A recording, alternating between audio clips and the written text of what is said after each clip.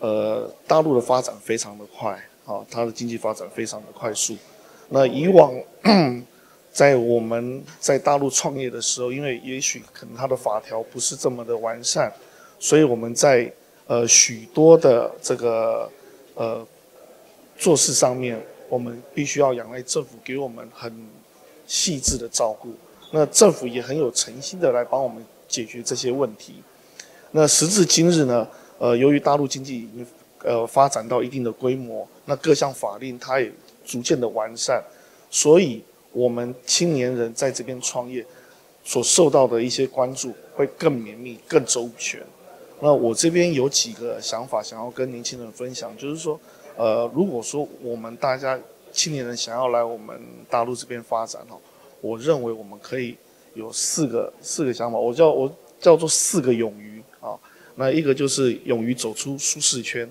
啊，因为呃，我觉得年轻人应该要多出去走走，多出去看看。那也许外界的环境会有许多阻碍，但是我觉得要有这个勇气出来走一走、看一看，扩大自己的格局与眼界。第二个呢，就是勇于追梦，啊，勇于表达自己，有自己的想法，啊，有自己的梦想，我们就要勇敢去追。呃，年轻，呃，有的是时间，啊，有的是精，有的是精力，啊，那我觉得这个部分我们可以来，呃，勇于来追求。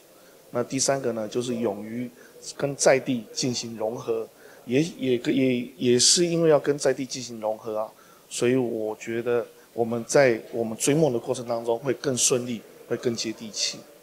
那第四个，我觉得我们要勇于承担，呃，我们的政治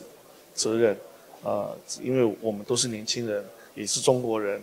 那我们都怀有这个中华伟大复兴的这样一个理念，呃，两岸的和平统一发展。呃，将来也是又落在我们身上，所以我觉得这个部分我们应该要勇于来承担。